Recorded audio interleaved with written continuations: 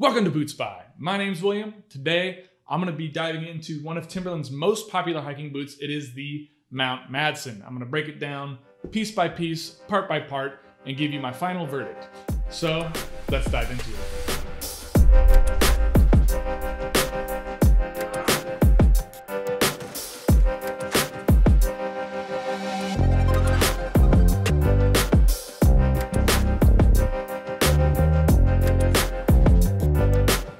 Guys, thank you so much for watching. If you haven't already, please hit that subscribe button down below. Give me a thumbs up. Both things are super helpful for the channel. I really appreciate it. So as I said, I'm gonna be doing a detailed review of the Timberland Mount Maddsen. This is one of Timberland's most popular hiking boots. Uh, it's up there with the White Ledge. These are kind of the buy for Timberland's most popular hiking boot. Um, I did some online reviews. I wanted to pick up something uh, for some quick hikes up here in North Carolina.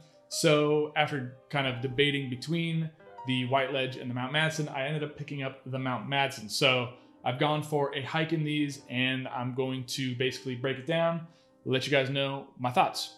My first impression of the Mount Maddsen, this fits perfectly into what I was looking for. I'm looking for a you know less expensive hiking boot that has a classic look. One thing about I noticed when I was researching hiking boots under $100 is that so many of them are like way overcomplicated, super technical, uh, and they just kind of look really ugly. So I wanted something that was more simple, more classic, and I feel like I got that with the Timberland Mount Maddsen. It's got the D rings here, the speed hooks. I love the classic brown leather. Uh, the laces are great. It's like an orange and brown texture there. These also come with a extra pair of red laces, which I was pretty tempted to put on for these because it's kind of like that classic hiking look but I just left, these were already laced up, so I just left them like that.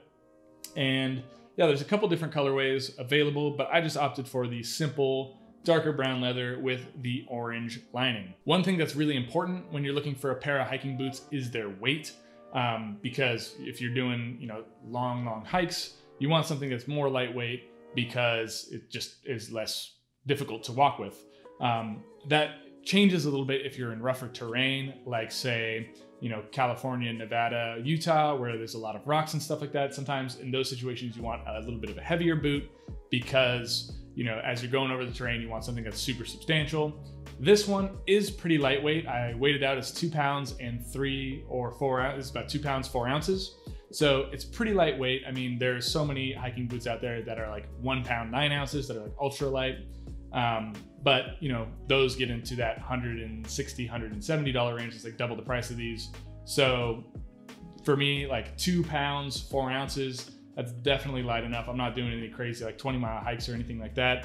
I'm really just sticking around that under 10 mile range, so that is perfect for me. Taking a close look at the leather of this boot, this is made with waterproofed full grain leather. I was actually surprised that this is full grain leather. I would have suspected with a sub $100 boot, maybe getting something with genuine leather, uh, but I'm not gonna complain because that boost in quality is definitely gonna help the durability of this boot over the years. As you can see with the waterproofing, the water just slides right off this boot and in about a year or so or six months, depending on how often I use these, uh, all you have to do is apply some Timberland Waximum and this is going to keep this leather just slicking water off so that there's no issues there. Other waterproofing features, you know, along this whole sole right here, and I'm not gonna talk, I'm gonna talk a little bit more about the sole later, but this is all waterproof um, except for, you know, this lining here, you can get water in there, but it would take, you'd have to stand in a puddle for a long time to get to that stage, which I doubt that you'll do.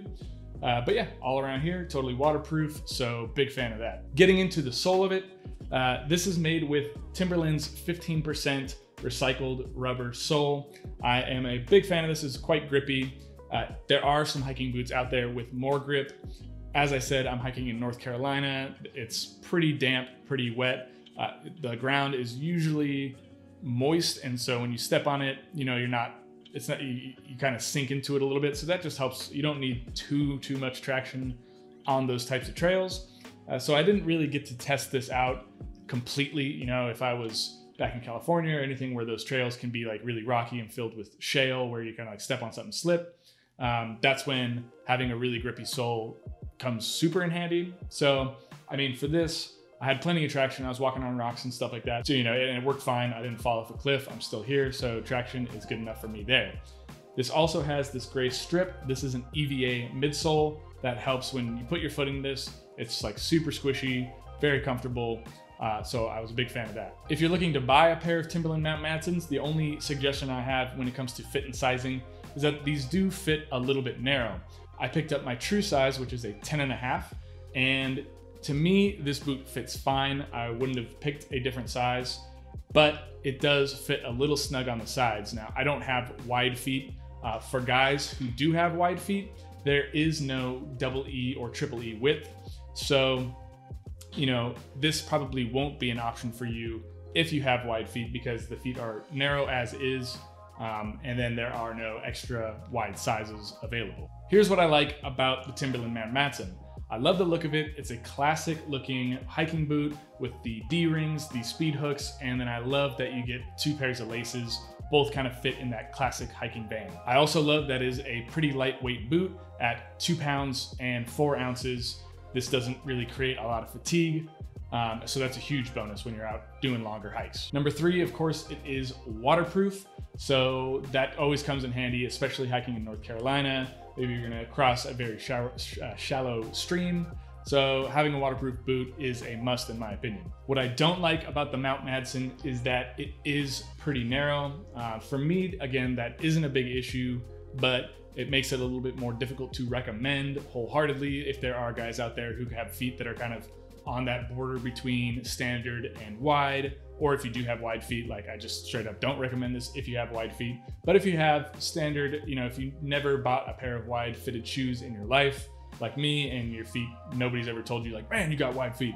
Uh, then these these are fine. Like I, I have had no problem with them. And even though some reviews online mention that they're way way too narrow, uh, I disagree with that. It's not super super narrow. It's just snug in the sides. My final verdict on the Mount Maddsen is that this is a solid value budget pick. Now, for me, I was looking for a boot that I could wear out on about one hike a month. So I didn't have to use my more expensive boots and, and, walk them through the mud and walk them through a river or anything like that. I wanted something that I didn't mind just taking out and beating up completely, uh, something that would be good for the trails and has a lot of traction here.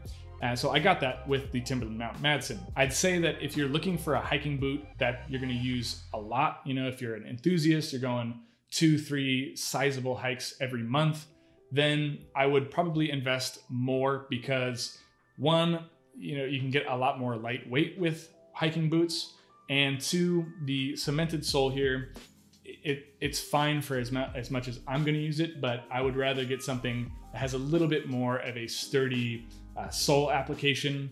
And while this is waterproof, uh, sometimes you know these types of boots or these kinds of boots can kind of the sole can separate if you're subjecting them to super heavy uh, super rough abuse. If I decide, you know, after a couple years that I want to invest more in a pair of hiking boots, I'll probably look towards Danner or Vasque.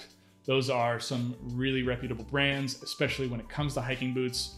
Uh, and they're that next step, but they are double the price. Now, last time I checked, and at the time I'm filming this, on Amazon, these were about $89. And for me, that fits that budget range uh, while it's still like a it's still a worthwhile boot because you know there's some boots out there like 30 bucks or whatever and those just aren't worth buying because they just feel terrible and then they break so this one you know i'm confident for as much as i'll be using it that it will uh, hold up well to that use it's great you know good quality leather i mean this is full grain leather here so it has a lot of it checks a lot of the boxes without being you know, super specialized without being like the best and the most expensive. It's just right in that middle range, which is perfect for me. Guys, if you enjoyed this video, please hit that subscribe button down below. Give me a thumbs up. Also, let me know in the comments, is this hiking boot worth it for you? Is, is this something you're thinking about getting?